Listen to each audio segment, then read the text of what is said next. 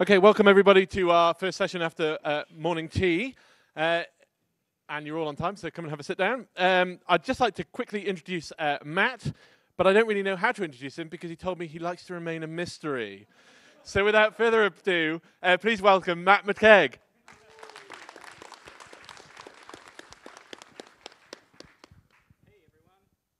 Check, check. We, we on? Sweet. Okay, how's it going? Um, yeah, so I this is the first time I've ever given a talk in the like before lunch. So I'm not usually awake right now. so let's hope that coffee I didn't drink before like worked. So um, this is my project that I've been working on for the last five years. It is software for live electronic music performance that you can use with these devices. So why don't I just use Ableton? Um, because I'm a developer that, that has a very serious case of not invented here syndrome. So I just find that like Ableton just doesn't quite ever do exactly what I want. So I know JavaScript. Why not like make it myself? So that's exactly what I did. I got some HTML, some CSS, some JavaScript, some web audio, some web MIDI, and Electron, and shoved it all in a great big blender, pushed the thing, waited five years, and now we've got an app. So I think the best way for me to explain what Loopdrop does is to just like use it and play a song for you. But um, rather than me just making this an entirely um, personal thing where I'm up here pushing buttons and you guys are like, well, that's pretty nice and all, but I don't feel like I'm part of that, I would actually like to include you in the song I'm about to make. I would like to record some of your body parts making sounds, such as your feet and your hands and your voices. If that's all right with you, is that okay? Awesome. Okay, so for a start, I would like to get a nice big JavaScript. So can I get you all to stand up, if that's all right? Because you've got to have that. You've got to have like the really enthusiastic JavaScript. All right, on three. Wait, like after three, I'll go one, two, three, and then beat. So one, two, three. JavaScript! Nice. It's JavaScript! JavaScript. One of the better JavaScripts I've got. I'm not saying it's as good as like I don't know Melbourne were pretty good. They were they were amazing. I'm just gonna change my settings because oh no that is off. Okay. All right, let's get one more just for good luck. One, two, three. JavaScript. That's really nice.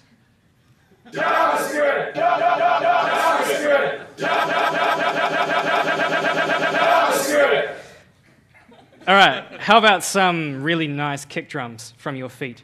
So stomp your feet, and I'm going to stomp my feet because it probably won't pick you up very well, so it'll probably be mostly my foot. But you will feel like you're taking part. On three. One, well, after three. One, two, three. Wow, that was nice. It's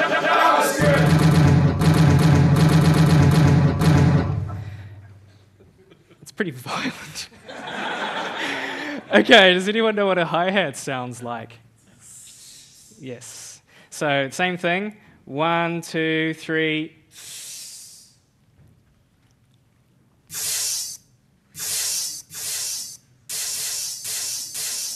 So, I'm just going to make it sound a bit more like a hi hat. There we go. How's that?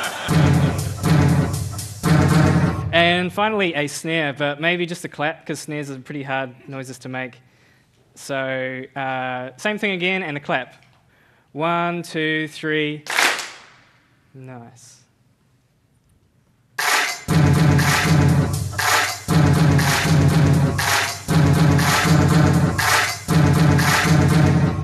Can I get one single volunteer from the audience like you, Owen, to yell out, yeah?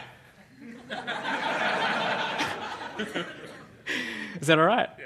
All right. One, two, three. Yeah! Oh, yeah. Yeah! Yeah!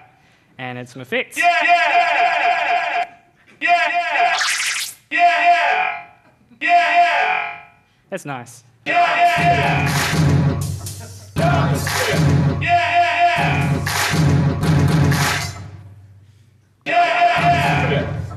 That's nice. All right, that's all I need from you, so you can sit down. Or you can stand up, come at the front, and like. so, um, as you may have noticed, uh, Loop Drop is a sampler. I can record people, and then I can do things with it. Um, but it's also a synthesizer. So down here, I've set up a bass.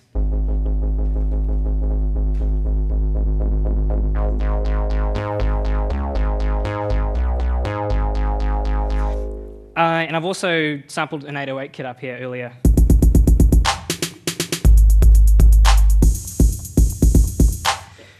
And you may have noticed that you're hearing sounds playing, but I'm not actually like playing those sounds with my fingers. Like you're not seeing me going like, and that's why, because it would sound like that. so with the magic of time and maths and JavaScript uh, and other things, I have devised a strategy for making it so that I can play in time perfectly, but still be playing live. So with these buttons down the side here, I can choose the rate of my playing. So this is playing straight. If I push this button here, I can hold it down and it'll trigger perfectly on beat. Or I can do double time.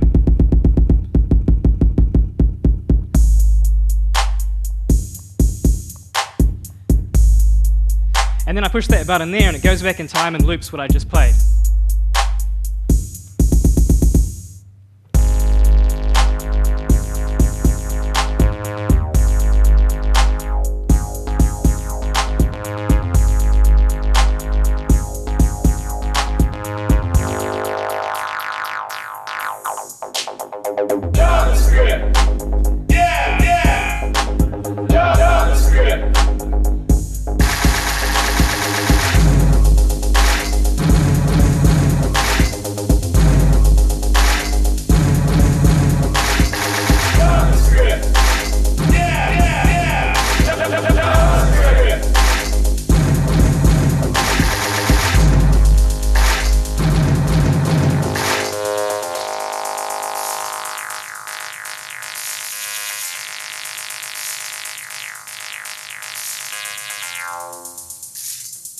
Oops.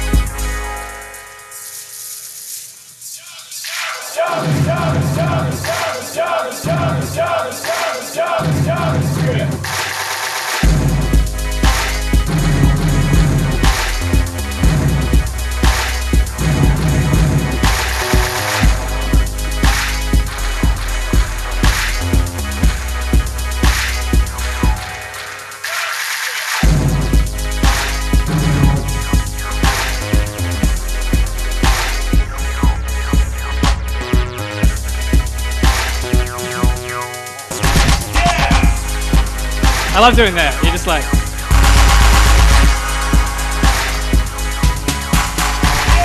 See, I'm, I literally don't have to be doing anything special. I can just mash the keys. JavaScript. Woohoo!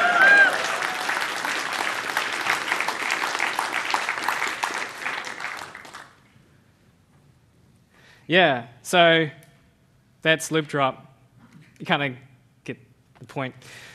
Right, so normally when I talk about, well, I give talks about loop drop, I tend to find it very difficult to actually talk about loop drop itself because it's kind of a very large project. Um, I we're sort of condensing five years of, of horror, horrific trauma.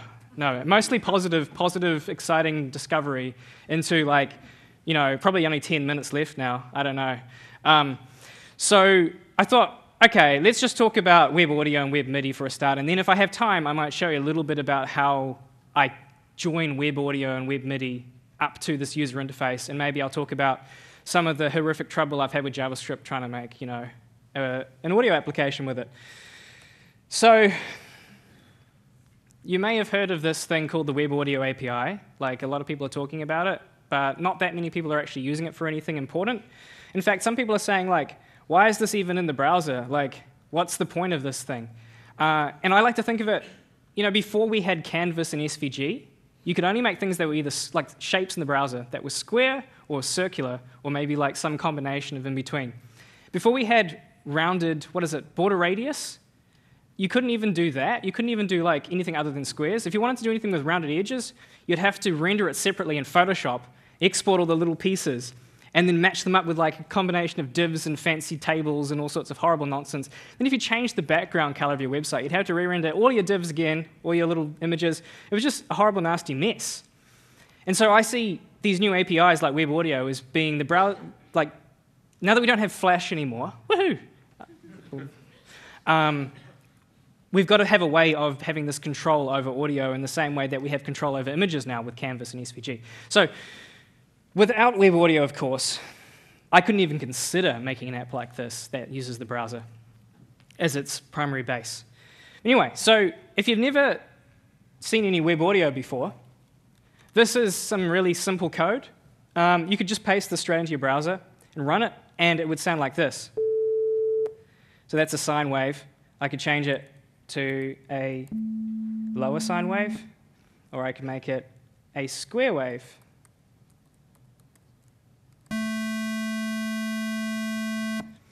And it doesn't sound like much at this stage, but if you think about the physics of everything, all sound is really just sine waves. And if you can combine enough sine waves together, you can make any sound. Um, a square wave is actually just a really crazy function of multiple sine waves that does this almost square, but not quite. If you look at that little thing up there, actually you can't really see it because I turned it down because I didn't want to deafen everyone. But yeah, you can kind of see that it's not quite actually perfectly square because it's impossible to, to actually create that with the way that speakers move because there's that little bit of delay between when it goes from that state to that state. Anyway, so that's enough physics. Sorry, I got distracted there. This is going to be the talk. I'm just going to like run off in tangents the whole time. One minute. But anyway, we can get a bit more complicated. We can create an entire sequence with some effects.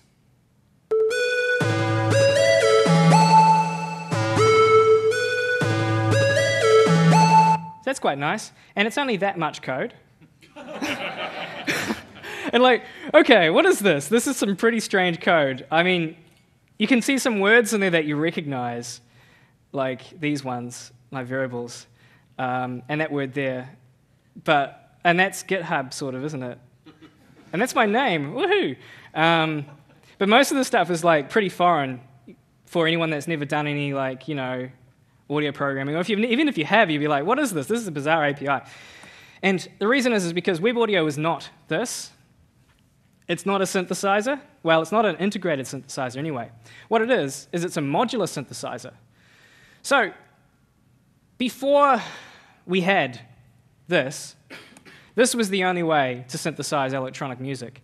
And it's still pretty popular with enthusiasts and people that like to waste lots of money.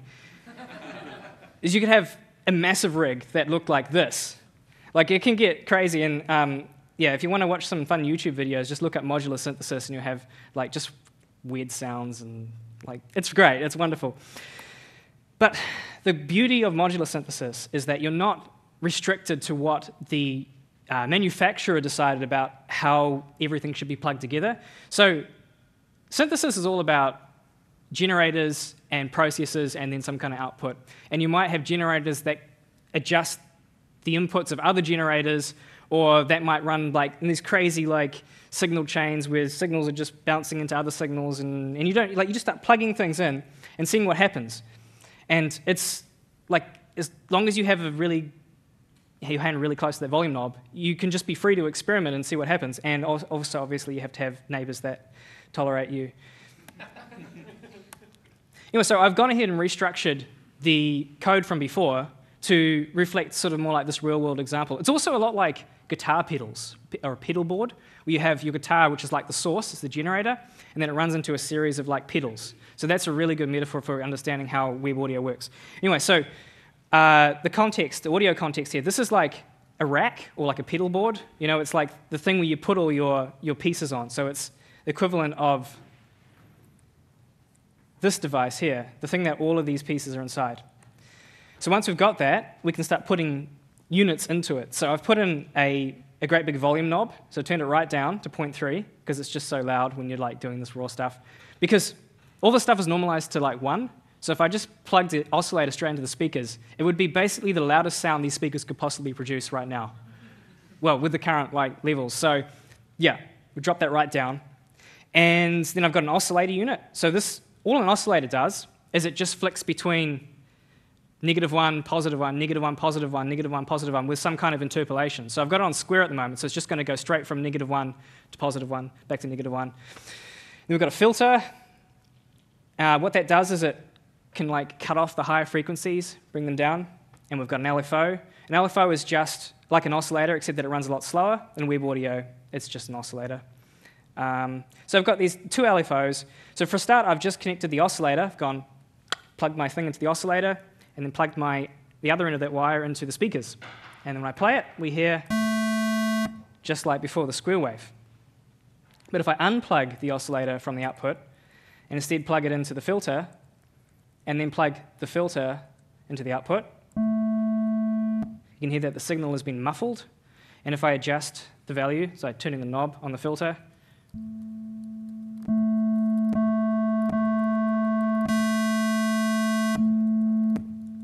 so you can hear what it's doing there. I can also change it to be high pass, which means that rather than clipping off, so rather than letting the high frequencies pass and clipping off, wait, no, I've forgotten. Oh, I'll just do it. I, I pretend I know how the stuff works, but I just push buttons until it works, and yeah, there we go. So you can see how that's different, right? It, it's different to the other one. So now I can start getting a bit crazy, and I can connect up these LFOs here. So these are just like another oscillator that's going between like a value of negative one, positive one, negative one, positive one. Then I'm running it through an, uh, an amplifier, bring it up to 400.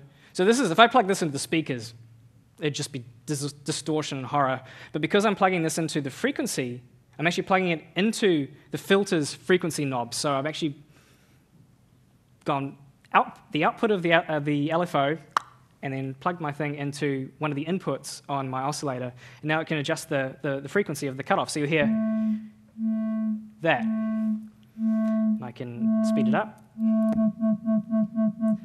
change some values.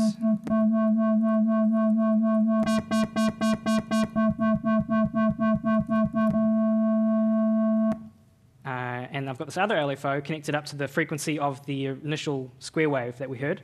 So this will change the pitch. And I can go absolutely nuts and hook up the first LFO to the second LFO's frequency get really weird stuff. So this is what happens when like you're just sitting there plugging things in and, and when you've got the big modular synth.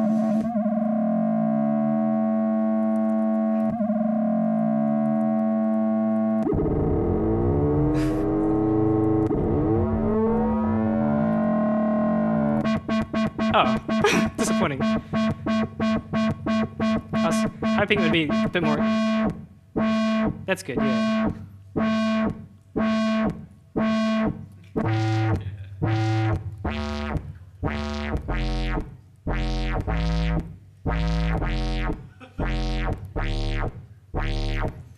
I could just play a whole show doing that, right? and in fact, that's actually a genre um, called algo rave. And um, this guy here is just like standing on stage, like typing code and live coding. It's great. But I think the reason why it works is because he also has a drummer.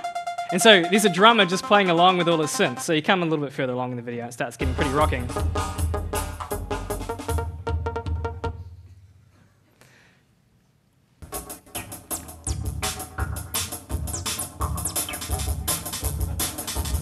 Some of these shots you can actually see a crowd like bobbing in the background, so it is legit, like it's real, okay?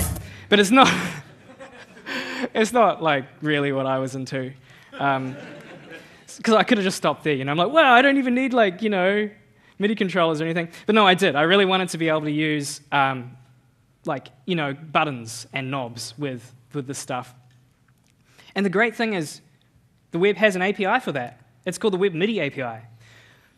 So you might be wondering, like, like what is what is this MIDI thing? Like, is this those MIDI files, right? Like from back in the day, those horrible, low quality music files that were so great when you were like 10 at school and playing on the computers, but later on you just like cringe. No, that is a file format. This is a protocol. MIDI is a protocol, and it's a protocol that was implemented, that's been implemented in pretty much every single instrument, every single digital instrument created since 1986 or something like that. So it goes way back. It used to be on these massive big DIN cables, but now we uh, just do it over USB. But it's the same protocol underneath. So we can tap into it like this. So this is just good old fashioned code that runs in the browser. Um, if I was running this, it would have popped up with a conf confirm dialog. Are you sure you want to give control of all of your music equipment to this web browser, this website? And you would say yes. But as soon as you're connected, I can now inter intercept all the messages coming off these controllers. So you can see that the messages are actually really simple. Uh, if you, I don't know, you can see those numbers at the top there. So when I push this one here, you see we've got 144, 11, 127. When I let go, it drops down to zero. Push it again, 127. And as I continue along, it counts up. So we can use this information. We can hook it directly up to our web audio, and we get this. Oops, I've got to run it.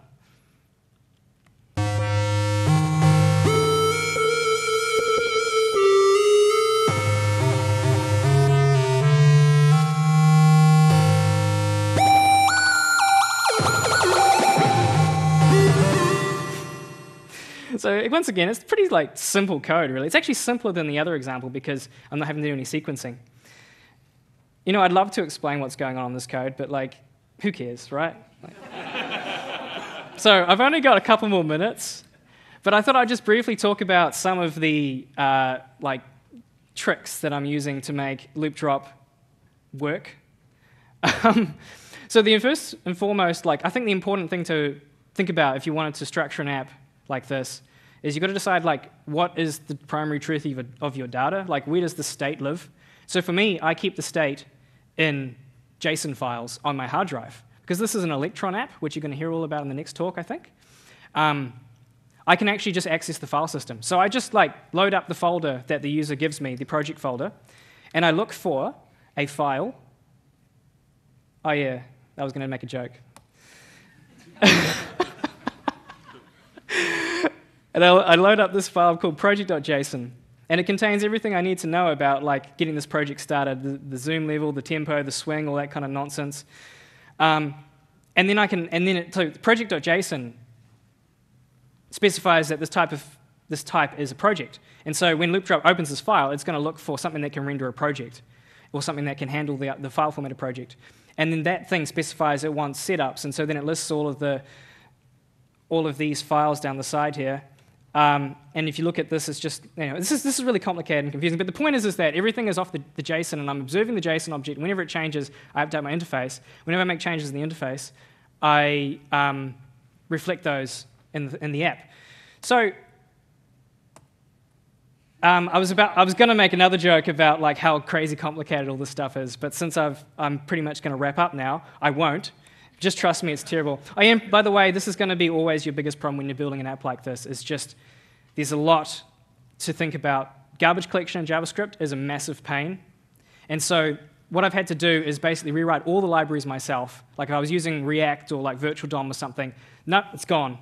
Um, and so I've built some abstractions myself into this library called Mutant, which gives me all the nice reactive FRP style, but without all the overhead of immutable structures and garbage collection. So that really helps a lot.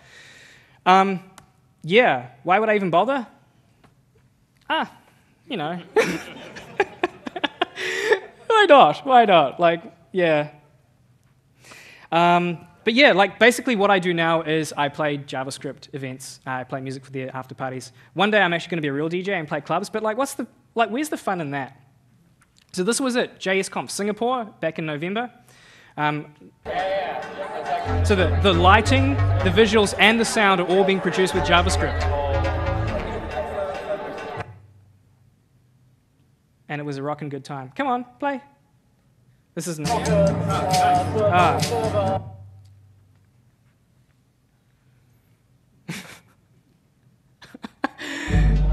Oh yeah. Okay. Whatever. Anyway, you get the point. It was great. Anyway, thanks.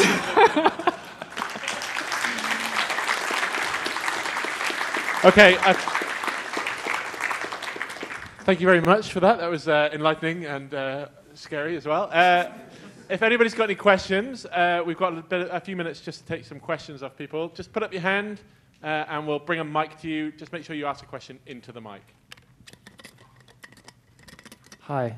Hey. Um, I was just wondering, um, so obviously it's very cool to be using JavaScript. Do you use Explore with any other like um, audio programming languages, things like uh, Chuck or um, I can't remember the other one at the moment. so what was the first one you said? Um, so why why JavaScript Right. over like more established audio programming languages? Yes, that is a very good question, and hopefully I'll be able to survive um, the, the answer. Why should I just left you hanging like that? That was just it. right, I'm over it now. Okay. Yeah, so why JavaScript? Um, well, the simple answer is uh, because that was the language I knew at the time when I was starting to fiddle with the stuff. I did try using some Python uh, back in the early days when I first started experimenting. So originally, I was just doing MIDI stuff. So I was intercepting the data coming out of these launch pads, running it into Node.js or whatever, and then and then putting it into like Ableton Live or you know something like that. And that did work pretty well. But um, so I was I tried Python, I tried a few other languages, but I ended up settling on Node because it was just so so good for this kind of thing because you get the asynchronous events, and it means you don't have to worry about like loops and stuff. You can just like you can just react to the events. Um, and I'm sure there's far better languages for doing this, but like I, the second thing I tried was JavaScript, and it worked. And then there was web audio, and I'm like, wow, this just makes sense. And that's really the answer. I haven't really tried anything else.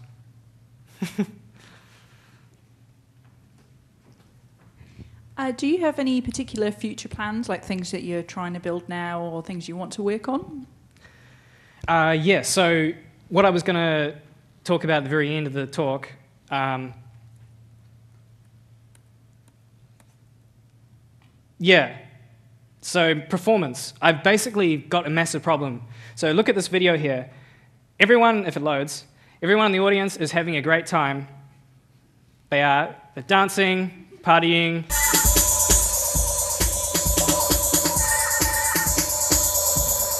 And then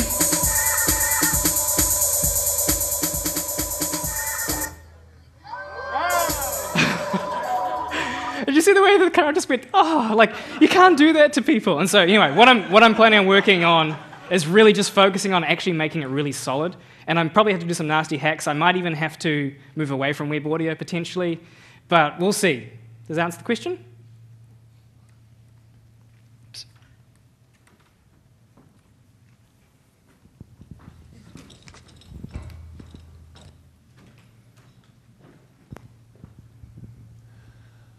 Um, how do you feel about Sonic Pi and what people have been doing with that with live streaming performances? Um, so Sonic Pi, is that a live coding environment? Yeah, Yeah, yeah. It's for Ruby. Oh Um, yeah, yeah, um, yeah. I think that sort of stuff's really exciting and pretty cool. Um, it's interesting how it's like a whole new genre of music. Like I was showing you the algo rave stuff before, um, and because the tools that people use really do change the like what you hear. The aesthetic of music is, I think, the best, most interesting music comes from some kind of interesting place where you can actually kind of hear how this music's been created. And so, music that's created with live coding has that sound, and it can be quite hard at first when you're listening to it. But I think it's definitely something like if you're if you are a developer or a coder and you're at a, a gig and someone's like live coding, you can follow along in your head. Or even if you're not, like it's the sort of thing that actually really gets you into coding. You're like, wow, this is a whole new world of stuff I've never even considered before. So, does that answer? Cool. I think that's all the time we've got for, uh, for this session. Uh, so thanks again to Matt. That was absolutely awesome. Thank you.